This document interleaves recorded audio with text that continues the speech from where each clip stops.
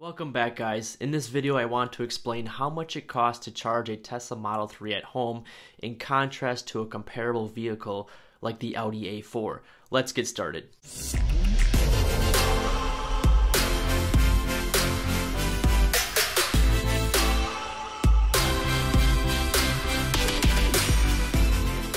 You may have just ordered your Tesla or you are possibly still looking into how you're going to switch from gas to electric. Regardless, we all know the most expensive part of owning a car is the cost to power it. As you may have seen in my previous videos, I owned a 2009 Audi A4 that averaged about 25 miles per gallon, with premium gasoline ranging from $3.15 to $3.60 per gallon.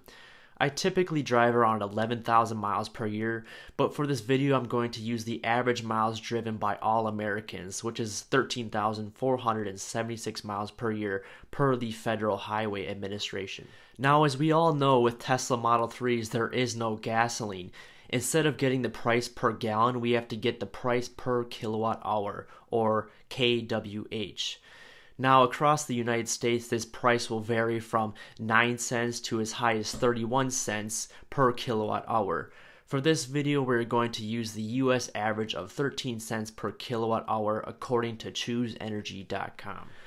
I'm going to use my Tesla Model 3 mid-range, which has an EPA class of 123 miles per gallon equivalent, which is rated at 3.7 miles per kilowatt hour.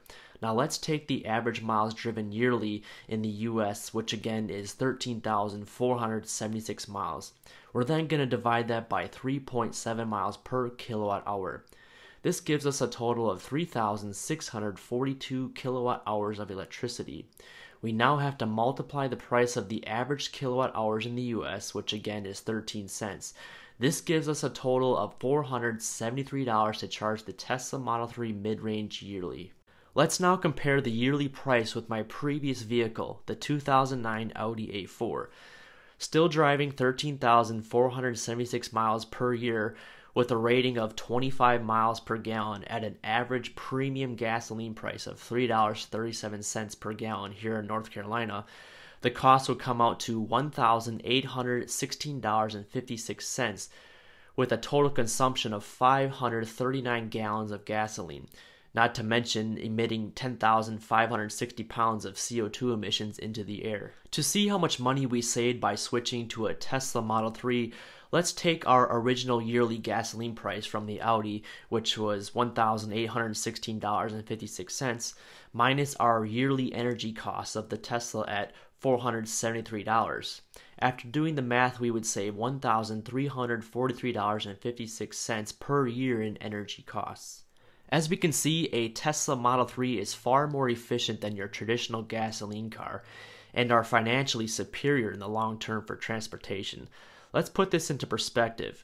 With these average numbers I've mentioned before, and if the Tesla Model 3 owner were to keep the car for 8 years, they would see a savings of $10,748, and that's if these energy prices stay the same in the future. I personally think over time electricity costs will come down with the advancement in renewable energy technology like wind and solar power options. Keep in mind, charging at public locations and Tesla superchargers will have an impact on this total savings number. Typically, Tesla superchargers will cost 28 cents per kilowatt hour, and the largest online network, ChargePoint, will vary mostly from free to 1 to $3 per hour. Again, this will all vary based on your city.